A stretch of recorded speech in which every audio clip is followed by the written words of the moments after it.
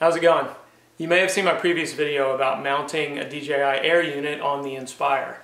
Um, I actually opened it up, ran power from the inside, and then I uh, had, had posted another quick video just updating that I found a much simpler way because of course the Air unit runs on uh, straight off a 4S battery. Um, so all you have to do actually is put a little BT2 connector on your air unit, which is super easy to do. I realized while I was taking this back apart that I had originally made the pigtail for my air unit backwards. Well, I've sort of standardized my rig so that this end, the female end of the BT 2.0 connectors, is always on the camera. That way my battery leads, my battery leads always have the male end. So yeah, it's nice and standardized. And then um, I have uh, I have some little adapters for little 4S batteries, XT30 to BT2S or BT 2.0, sorry, and um, and then the air unit goes under here, under you know under the bird, and also, uh, there's a longer cable that you can get. It's actually a Caddx Vista cable, but it works for the air unit. So you can you can order that. I'll um, I'll put that link in the description. And you just open this thing up. It's not that hard to do. Just replace that cable.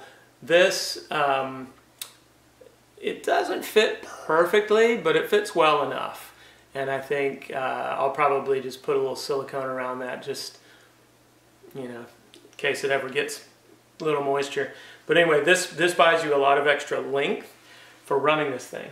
And then because my newer Inspire has the, uh, the safety cable, you can see, I hope that's focusing, yeah, has the, the safety cable to uh, the gimbal retainer cable. Now this is perfect because these little screw holes actually are ideal for holding this air unit module underneath. So I've redesigned, this was my old one which I just zip tied in place. So I've redesigned this to be like this. And what you got there is those, those kind of C clamp bits actually go like this. So let's see if that's focusing.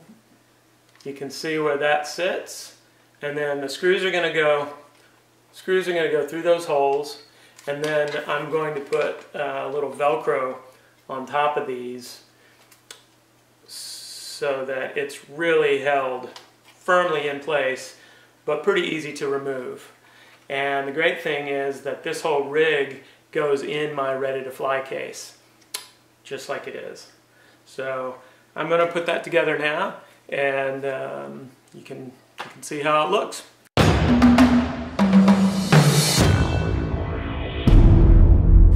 So what I'm going to do is make some little Velcro spots for this.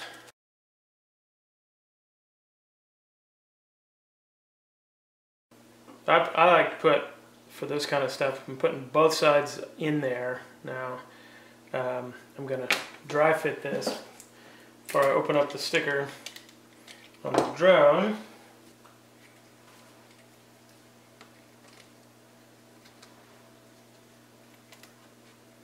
It's going to work great.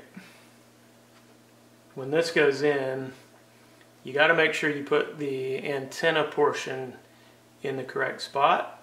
I have them so looking at these angles here, the antennas go that way. So that's the way.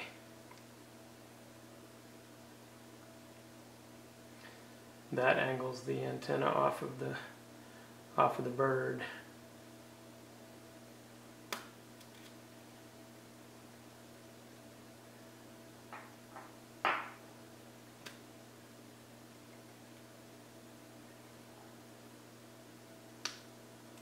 That snaps into place nicely. Something I've found for these antennas is that at least the way it was before. A little tricky to get them in, a little tricky to get them into these holes. Uh, so the thing to do, as, as is so often the case with TPU heat gun, I'll just do it on low. This heat gun on high will quickly liquefy this TPU.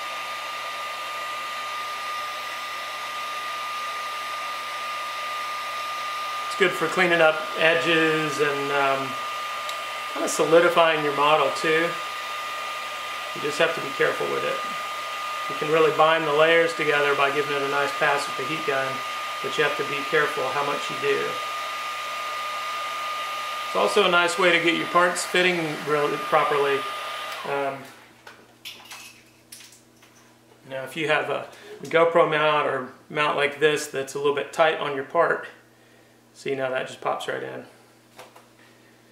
You can always heat it up a little bit. Yeah, bam and then put your part in place and then let it cool. Actually, I got that tip from Neil over at Catalyst. Good tip.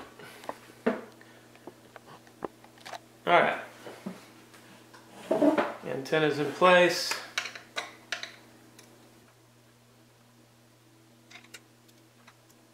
Now this, what you want to do is put those in place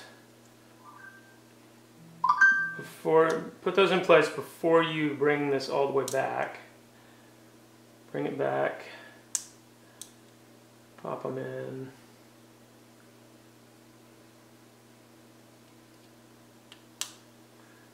There we go. There we go. And um, it's a pretty good fit here.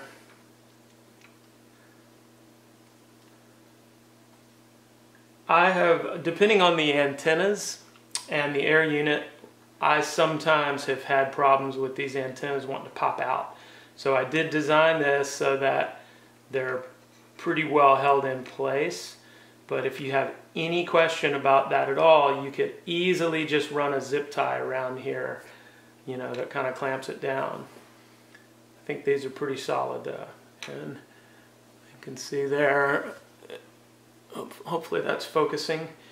It, uh, these are channeled so that they really hold those antennas out about a 45 degree angle. Now,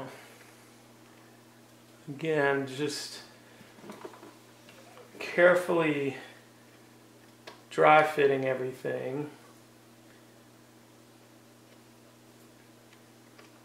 I'll do that one more time. Yeah, so this is this is good now. This is it's going to be up off of there. It's in a good position. It's going to work with my screws. So, I'll tell you, with, with those screws in place, you probably honestly don't even need the Velcro. I'm tempted to not even stick the Velcro right now because once I have this thing screwed in, it's not going anywhere. It's not like there's a ton of pressure. It's not, it's not a heavy part. Yeah, I think for now I'm just going to skip the Velcro. I got those in place so it's kind of padding it out, which the design really calls for because I left room for it. Um, now this, these little cable bits go right on top here and the way this is set up there's a small gap under here, so that screw sits just like you would want it to. Alright?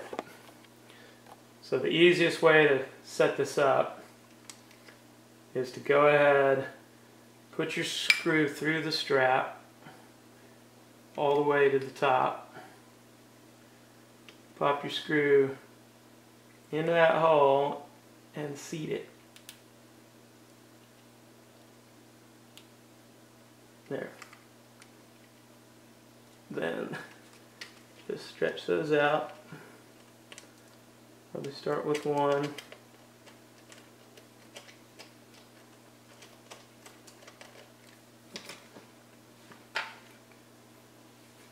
Hopefully you can see that. I'm kind of driving it home, guiding it home.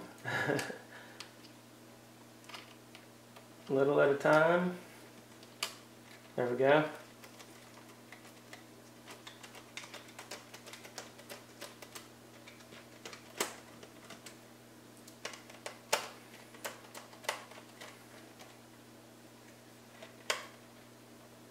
Yeah, now we have the best of both worlds. My previous design didn't make room for the strap. And it also kind of, because I had the, the shorter camera cable, it required being a little closer here. Uh, so it's really key that you get the longer camera cable. You really got to have that.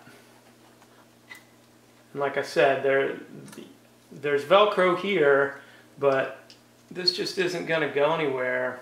Now it's screwed in place. I think the Velcro part was overkill. But if you want to overkill it, now you've got that. Um, and either way, it's good to put the Velcro in here because uh, I designed it with about a two millimeter uh, extra space there for the Velcro, maybe three millimeters. Um, so you'll see that. But yeah, I think I think that's that's going to be really solid. As you can see, the angle of the antennas is really nice. It sticks down at 45. It's out of the way of uh, all the sensors. And then you just Velcro a battery, use a smaller, smallish battery and a uh, battery strap and put that on your arm there. You can use a pretty small, like a 700 milliamp 4S and you know the Inspire is a big, strong quad. You're not gonna you're not gonna make a, a weight difference on this thing. I hope this helps some of you guys to, to get your Inspire 2 set up with uh, DJI FPV even easier now. It's super simple. And um, I'll post the, these designs on Thingiverse. Please like and subscribe if you're digging these videos. Hit the little bell so you get notified when I put out a new one. And uh, I'll see you out there flying.